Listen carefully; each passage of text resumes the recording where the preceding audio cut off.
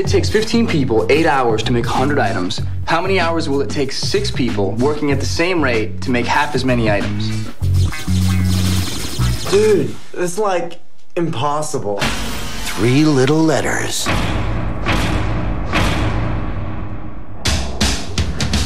You're down on 1140? That's as bad as me, man. What'd you tell your parents? I lied. You've never been so proud, son.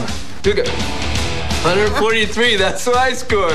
It can define your status. Did you see my dad's truck in the driveway? It says Matthews and Son Septic on it. If I don't get into Maryland, my life Shit! It can change your life You need a 900 on the SAT. and completely What if I mess it up again? You won't. We're very proud of you, honey. stress you out. I was gonna go to class before I got Six different students Now, maybe we thought this was bigger than us one on one, but there's no way it's gonna beat all of us together.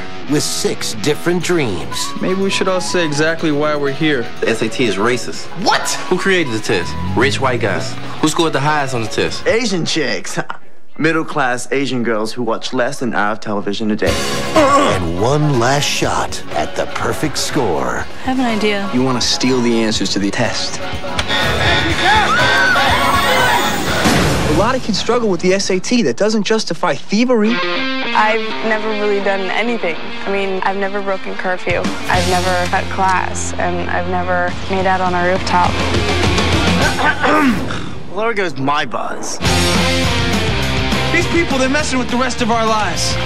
Could you fetch me that mail, mail boy? Okay. If you could be anything you wanted to be, what would you be?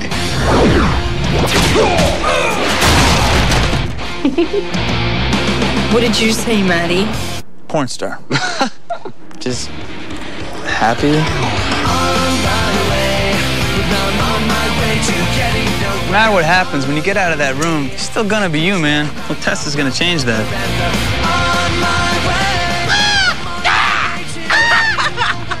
You've assembled a crack team, Chief.